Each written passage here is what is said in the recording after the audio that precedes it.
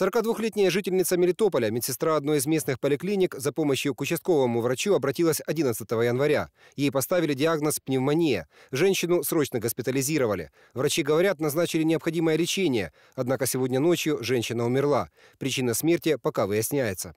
Вирусов уже нет. Это, это типичная, скорее всего, бактериальная пневмония вызванная э, предшествующим простудным заболеванием. Каким? Ну, вы же поймите, мы будем знать э, более подробно после имеющихся каких-то лабораторных исследований. По словам врачей, женщина поздно обратилась за помощью. Начальник Мелитопольского отдела здравоохранения говорит, что болела она с 3 января.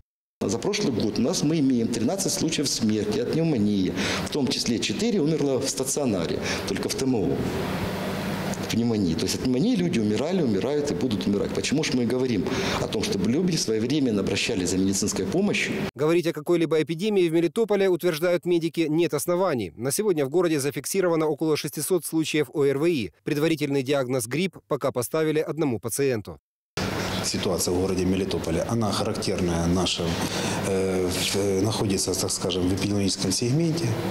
Значит, э, эпидпорог не превышен, он составляет минус 60%, то есть, в принципе, ситуация, скажем, она характерна для этого времени года. Медики настоятельно рекомендуют обращаться за помощью уже при первых проявлениях заболевания и не заниматься самолечением. Дмитрий Злачевский, Артем Довжик, Мелитополь, ТВ5.